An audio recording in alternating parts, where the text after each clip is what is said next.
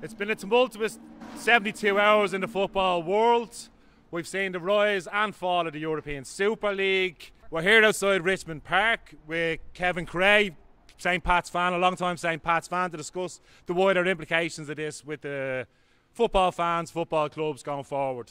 Yeah, so on Sunday, what came to light was that uh, the superpowers in football, some of the biggest clubs, uh, some of the most marketable clubs in, in European football from Italy, from Spain, and from England, decided that they were officially going to break away in the European Super League.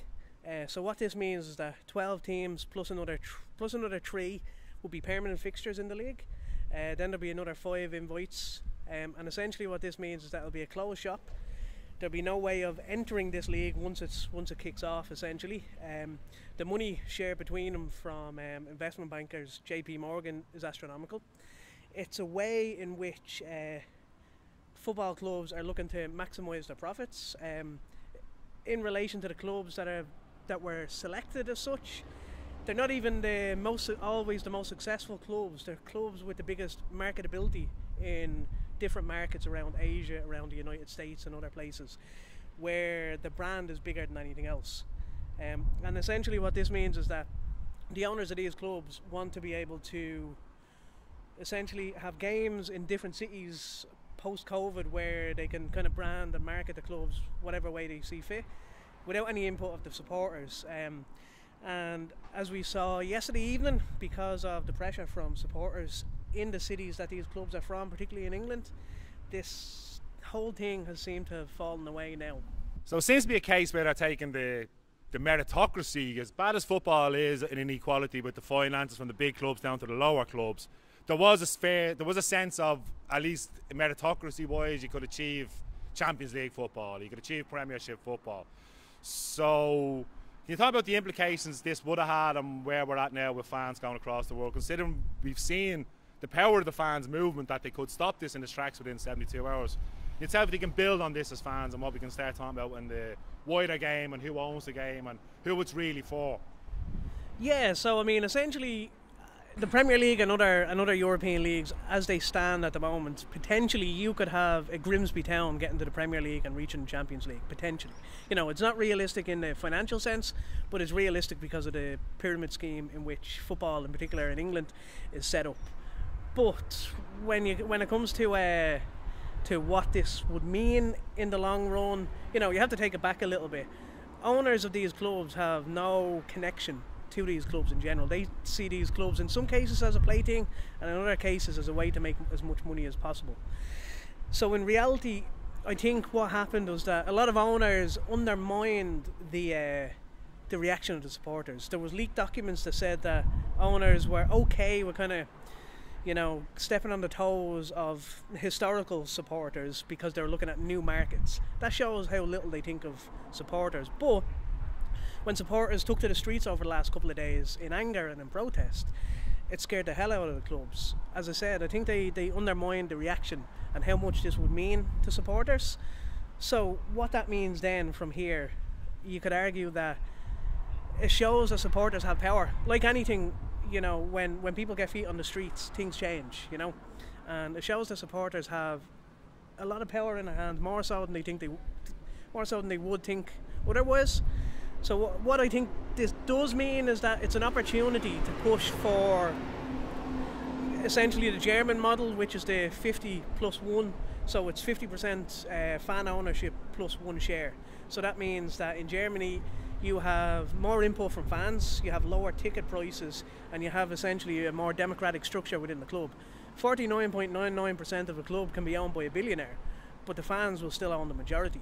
And I think in relation to legislation, I'm led to believe that in England, Boris Johnson is al- already looking at, at this kind of thing. Um, I think it's the only way to, to go realistically uh, in, a, in a league like the Premier League or bigger leagues like in Italy because with a competition and with the finances already there, it wouldn't be viable to have 100% fan ownership, but a 50 plus 1 works in Germany and I think it can work in other places as well. Now I know Shamrock Rovers in Ireland and a few other clubs have experimented with fan ownership, and to be on, on a good uh, on a good quality and a successful level. So, it, do you think there's an opportunity now to for the Irish state to actually reinvest to grow Irish football and to create legislation that will put all the professional clubs in Ireland with a 50 plus one fan ownership? And will this encourage people, do you think, to reinvigorate League of Ireland, which is a sport that's been left falling flat in place for the working class in a lot of places? Yeah, I mean, I think I think it's a good opportunity for football fans in leagues all over, and particularly here in Ireland. And you look at historically, the league's been forgotten about. The former FAI CEO John Delaney called the league a problem child, you know. So he doesn't care about the league, and the government don't care about the league. Micheál Martin uh, tweeted yesterday about challenging this uh, European Soccer League. He, he he has a he has a, a successful struggling club in his own constituency that he's never he's never cared about. So, will the government take action? Probably not. But I think it's an opportunity for clubs and for supporters to be able to push for, for this kind of reform, you know. And I think when, when supporters get back into the grounds, and League of Ireland supporters are quite militant anyway, so I think it's an opportunity when supporters get back into the grounds to be able to kind of fight for, for this kind of um, this kind of base. I mean, at, at Pats here, you know, there's one owner, but there is a supporters group called the Patron Saints who are essentially like a safety net for the club and help out the club in, in ways where where possible. And I think the the idea of the Patron Saints was always to um, to kind of be in a, a, strong enough position that if anything ever happens, that they, they, they can be there to, to take control of the club. They're not there yet, but when you have when you look at Bohs, who've always been a, a, members club, and Rovers, as I said, are a members club as well. It's it it's the only practical way in Irish football to help grow because it, again, it gives more um, it gives more democracy to a club if supporters can have a genuine say and if supporters can have an input into how their day-to-day club is run. And when you look at things realistically, like a lot of a lot of talk about the European Super League um, happens on Twitter and on social media, and a lot of people who talk about this aren't proper football fans in the sense that they wouldn't be actively supporting their local club. You know, when you when you support your local club, it's different. It's not just football.